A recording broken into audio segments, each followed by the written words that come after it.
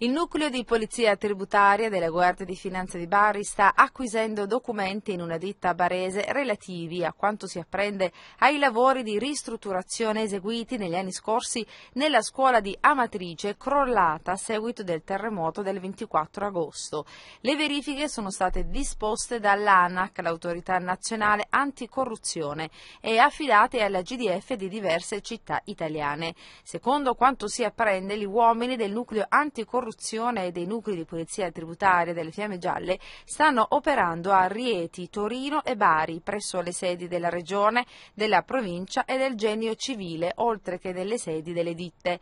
In particolare a Bari i finanzieri stanno raccogliendo presso una ditta che ha eseguito parte degli interventi di ristrutturazione di alcuni anni fa tutta la documentazione utile a ricostruire modalità e condizioni dell'appalto di affidamento dei lavori e successiva esecuzione degli stessi.